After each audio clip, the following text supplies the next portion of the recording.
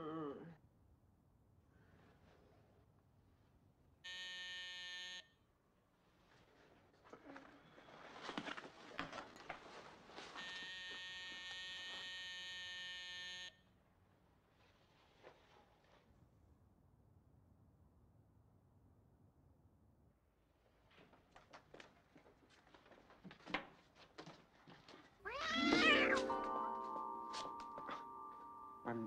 Sorry.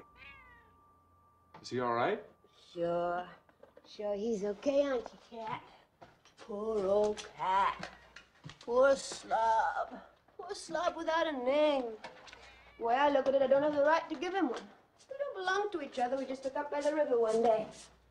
I don't even want to own anything until I can find a place where me and things go together. I'm not sure where that is, but I know what it's like. It's like Tiffany's. Tiffany's? You mean the jewelry store? That's right. I'm crazy about Tiffany's.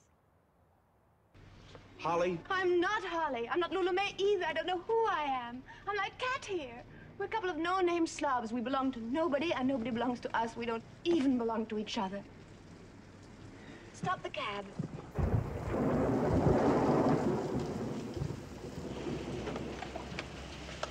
What do you think? This ought to be the right kind of place for a tough guy like you. Garbage cans, rats galore. Scram! I said take off. Beat it. Let's go.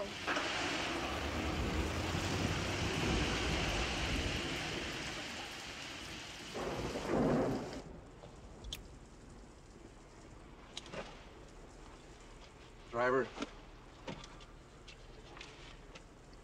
Pull over here.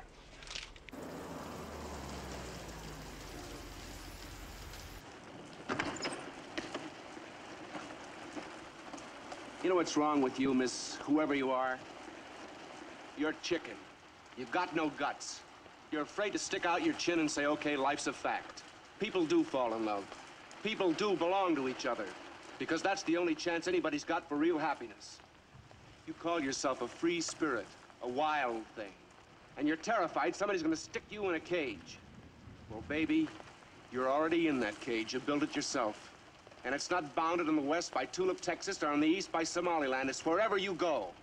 Because no matter where you run, you just end up running into yourself.